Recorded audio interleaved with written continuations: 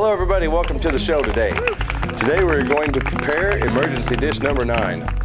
And uh, what that is, is it's freshly named, um, and I just prepared it last week for the first time in an emergency situation. So uh, what we have is we have a pound of ground beef, we have a package of uh, shredded hash brown potatoes, we have a package of diced up uh, butternut squash. You can find that in the produce. Some mushrooms, a couple of jalapenos there, so a couple of cups of shredded cheese, and an onion.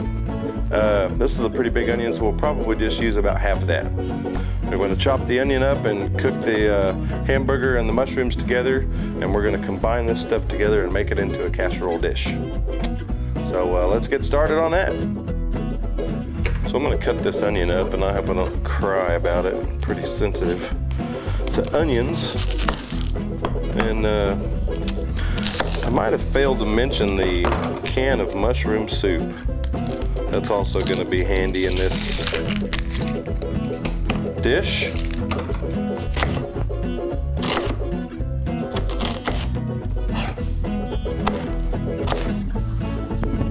So I got this skillet pretty warm here. I'm gonna put this hamburger meat in here and uh, brown it up as well as these onions.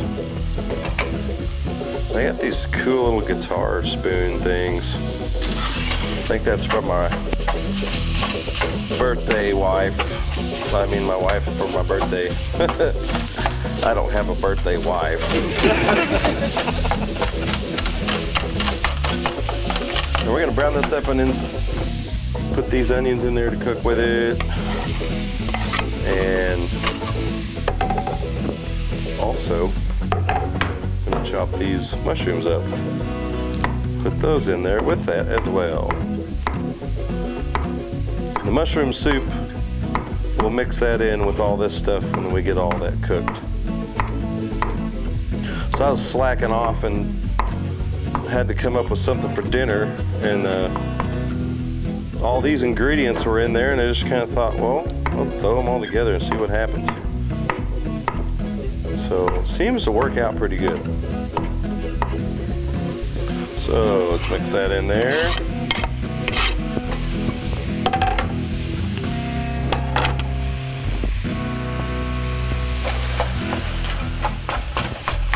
Now this hamburger meat was the really lean stuff, so I probably won't have even much drain out of there.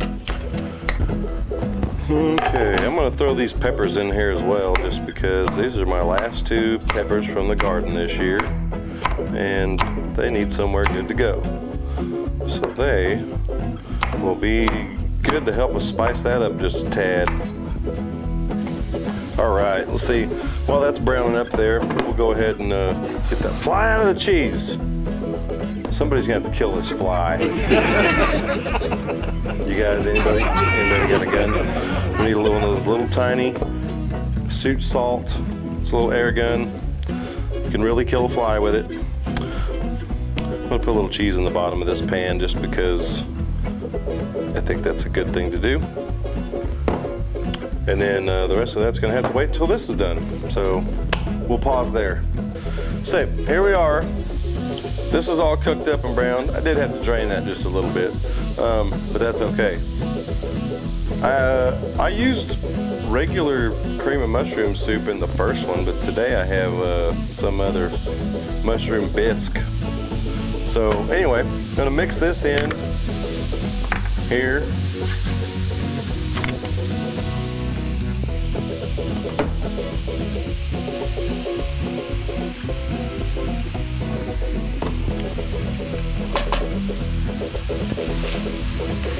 And I'm gonna stir all this up together. Now we're just gonna dump this into the pan here. Okay, now, I'm gonna say just a little more cheese, you know. Make sure you get like three layers of cheese in every bite. Dump these guys on here.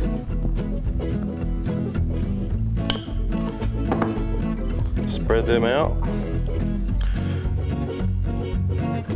You know, you could probably even put another some type of vegetable in there if you wanted, like a bag of peas, frozen peas. That would even give it more color. Now, with this, I'm gonna put a little bit of salt, pepper. This is pepper, obviously, but a little salt and pepper on this layer.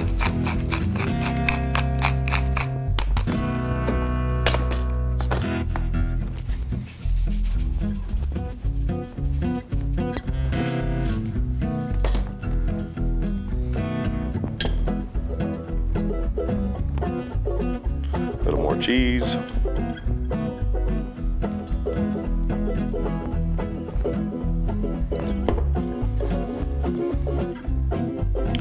Then we're gonna put these hash browns on top of that. So let's add that to it. Oh man, dry my hands. And we'll finish it off with the rest of this cheese. This sucker's ready for about 350 for about 30 minutes. Get all that melted together. We got it preheated and it's in there. We set the timer and come back and check on that. Oh man, that looks pretty tasty. Look at there. You come out with that. That looks pretty yum. And uh, tell you what, let's dress this sucker out today with a nice fresh farm egg. Wait, a nice farm fresh egg. Just gonna drain a little bit of that grease off of there.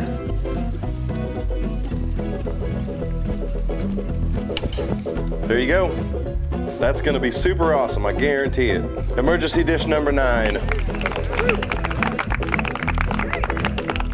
Hey, this time on Home Eats, um, we have Reckless Kelly.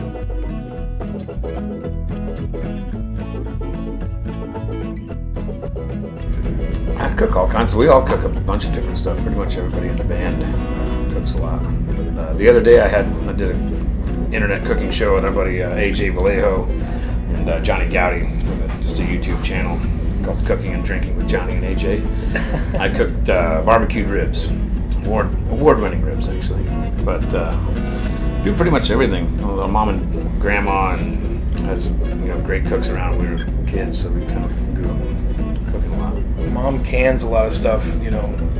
That's something I'm going to try and go up and take some lessons on, learn how to can. She cans vegetables and you name it. I mean, she does her own spaghetti sauce and salsa. So that's definitely something I want to, you know, keep going with the family and continue that tradition because it's just it's great to have that stuff on hand and it's, the, the quality is, is so much better than the crap you get out of a can these days. And, so we like I mean whenever I make you know like vegetable beef soup you know I put mom's mom's canned vegetables in there if I can't get fresh ones and then you know her stewed tomatoes and I don't know she makes enchilada sauce so you know it's kind of we, yeah we cook a lot of everything I, I would say I don't really do much Asian stuff I do some Thai stuff Yeah, pretty good Thai soup. little Tom Kha.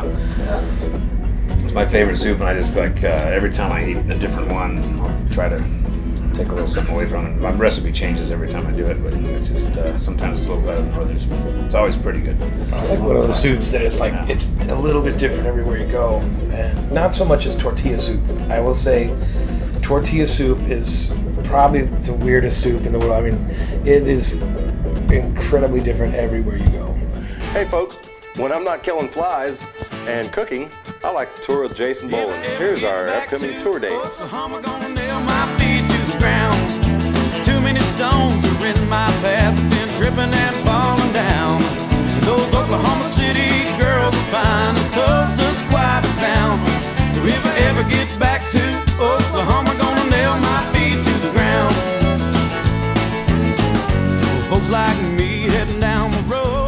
folks, you can watch this episode and many more at reddirtnation.com.